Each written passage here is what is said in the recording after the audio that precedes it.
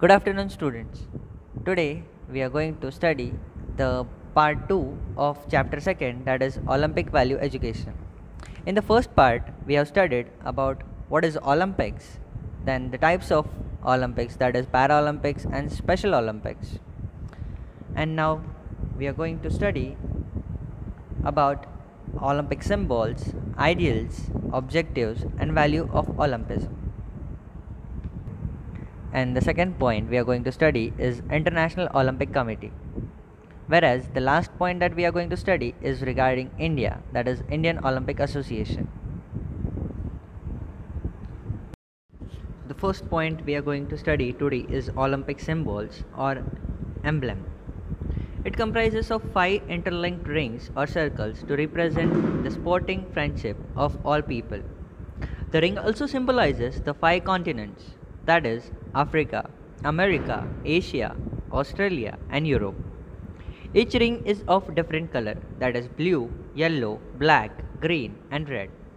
The color of each ring was proposed by de Coubertin himself. However, it is important to emphasize that Pierre Coubertin never said or wrote that the color of the rings were linked with different continents. So it is merely a misconception that says that each of the color relates to a certain continent. The Olympic motto is inscribed under the emblem which consists of three Latin words Citius, Altius and Fortius. Citius means faster, Altius means higher and Fortius means stronger. The literal meaning of these words represent the athletic goals running faster, jumping higher and throwing farther. Olympic ideals Olympic Games are remembered for the Bishop famous sermon. The important thing in Olympic is not to win but to take part. The important thing in life is not to trump but struggle. The essential thing is not to have conquered but to have fought well. These are the Olympic ideals. Further, we are going to study about the objectives of Olympics. According to Coubertin, the objectives were achieved through the Olympic Games, such as to pay attention towards physical education and sports competitions in all the countries of the world. The development personally, character, citizenship, and health among the youths. Formation of good habits among the sports person so that they could lead a healthy and prosperous life. The next uh, objective was to develop patriotism and fraternity among the sports person. The fifth point was to develop international fraternity and peace. Sixth one was not to have any discrimination on the basis of caste, race and religion. That was the most important point in objectives of Olympics. Development of value through Olympism. This is the next point. If we glance at the various objectives of modern Olympic games formulated by Coubertin, we immediately come to know that Coubertin wanted to develop these values through Olympism. So he put his strenuous effort to start the Olympic Games. In fact, the following values were developed through Olympism. So the first most important value was friendship. The Olympism provides many opportunities to develop friendship not only among the participants but among the nations also. When Olympic Games are held, the participants get close to each other. They become friends. The nations that have tense relation also come closer. China is one of the examples. Due to the ping pong diplomacy, it started to participate in Olympic Games after a long gap. So Olympism provides ample opportunities to develop friendship. So now the next value is solidarity. Olympism also provides ample opportunities to enhance solidarity. It also gives feelings of brotherhood and unity among various nations. It creates cohesion among the participants as nations. The next value is fair play. Up to some extent, it can be said that Olympic Games enhance the chances of fair play. Fair play is based on justice. There should be justice for each player as well as the team. There should not be any favor or inclination towards the team. Rules and regulations must be applied fairly to each team. But in fact, there is a big gap between words and actions of the officials. Nowadays, every team wants to win by hook or by crook. The slogan like stay out for sports and stay out of the court and live by code or get out have you become useless as these are not followed in practice. Therefore, it can be said that Olympism in this respect is not as successful as it should have been. So, the next value we are going to study is free from discrimination. This is the last point and the last objective of modern Olympic Games. It is said that there will be no discrimination on the basis of caste, race, and religion. So, the Olympism lays down enough stress on the aspects. That is why, up to, the, up to some extent, Olympic Games are free from discrimination. At such an event, there is no meaning of caste, race, religion, or community. Through exceptions are always there. It happened during 1972 Munich Olympic Games when 11 players of Israel were murdered ruthlessly. Racial difference was seen during 1936 Berlin Olympics when Adolf Hitler used the honor Jesse Owens, the African African American athlete who got four gold medals in Olympic Games. About the value such as friendship, solidarity, fair play, and free from discrimination, it can be said that Olympism plays a significant role in development of these values. But there is also a negative aspect of Olympic Games which is also rampant. It seems that dream of Coubertin are not going to be fulfilled. Countries have their own interest. Some of the countries take part in the Olympic Games just to prove that they are on the top and far better than the other countries.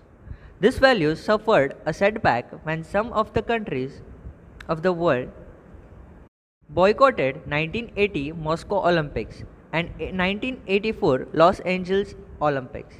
Perhaps Coubertin never imagined such shocking events. But it does not mean that the Olympism has failed in developing the above mentioned values. We must have a positive attitude towards Olympism.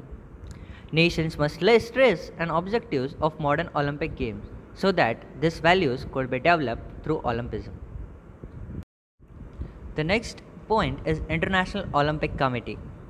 The International Olympic Committee is the governing body of the modern Olympic Games. It is committed to support and promote participation in sports throughout the world. The International Olympic Committee has its headquarters in Switzerland. It was created by Baron Coubertin. On 23 June, Vikelas was its first president. Its membership consists of 105 active members and 32 honorary members. The IOC organizes the modern Olympic Games held in summer and winter every four years. The first Summer Olympic Games by the International Committee were held in Athens, Greece in 1896, whereas the first Winter Olympic Games were held in France in 1924. Until 1922, both Summer and Winter Olympic Games were held in the same year. After that, the IOC changed the Winter Olympic Games through the every two years, apart from the other. Since 2010, the IOC has started to organize the Summer and Winter Youth Olympics. The first Summer Youth Olympics were held in Singapore in, in 2010, whereas the first Winter Youth Olympics were held in Innsbruck in 2012. The next is members of the committee. The IOC consists of the members from various countries, which constitutes president, vice president, executive board, and secretary general. The descriptions of these members are the first one is the most important president. The president of IOC, that is International Olympic Committee, is elected by its members. The president is elected for a term of 8 years. After the expiry of his term, he or she can be re elected. The current International Olympic Committee president is Thomas Bach. Vice President In International Olympic Committee, four vice presidents are elected.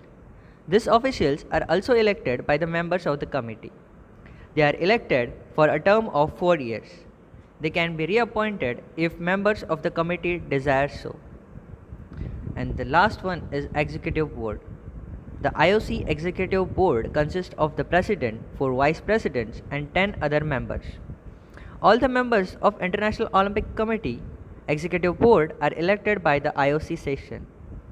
All the members of IOC from various countries. In a secret ballot by a majority of vote cast. The International Olympic Committee Executive Board assumes the general overall responsibilities for the administration of the IOC and the management of its affairs. The main functions of International Olympic Committee. The International Olympic Committee performs a number of functions which are the first one is the place where the Olympics will be organized is decided by the committee. The right to decide the days on which the games will be held also rests with the committee. For conducting the competition and general programs for the Olympics, fundamental rules and regulations are set up by the committee. The committee also encourages and supports the promotions of ethics in sports as well as education of youth through sports. Also ensures the regular conduct of Olympic Games. It also takes action in order to strengthen the unity and to protect the independence of the Olympic movement. It also acts against any form of discrimination affecting the Olympic movements. The committee also encourages and supports the promotion of women in sports at all levels. The committee leads the fight against doping in sports. This is the most important point related to the athletes. The committee also encourages the development of sports for all. And the last one is to oppose any political or commercial abuse of sports and athletes. The next is Indian Olympic Association. Indian Olympic Association is also called as IOA. It was established in 1927. Sir Dorabji Jamshedji Tata and Dr. Noehren became the founder president and secretary general, respectively, of Indian Olympic Association.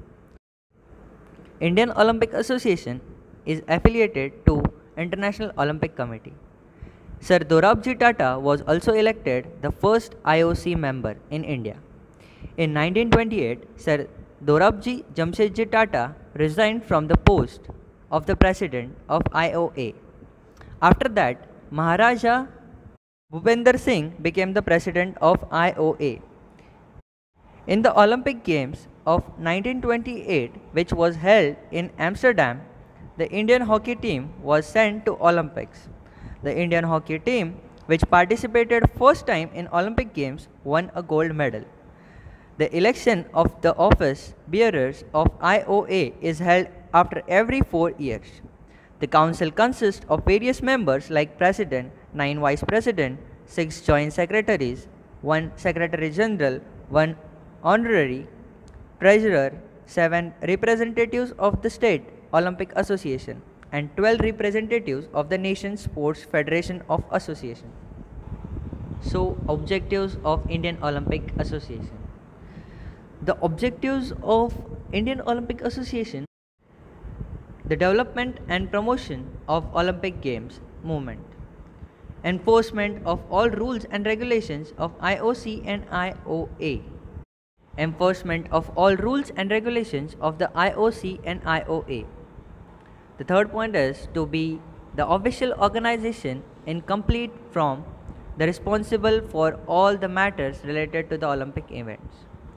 Fourth one is promotion and encouragement of physical, moral, cultural education and the young people of the nation so that their characters can be developed.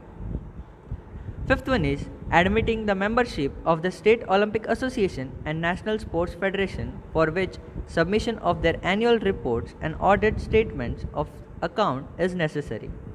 This document should be deposited to IOA for information. The sixth objective is to undertake with assistance of National Sports Federation, the financial management, transportation, maintenance and welfare of the team from India taking part in the Olympic Games and other games which are organized under the patronage of IOC. The next objective is to take disciplinary action against any federation for misbehavior or any other undesirable activities bringing discredit to the country. Eighth objective is to cooperation with the National Sports Federation organize and control selection, training, coaching of the team that will represent India.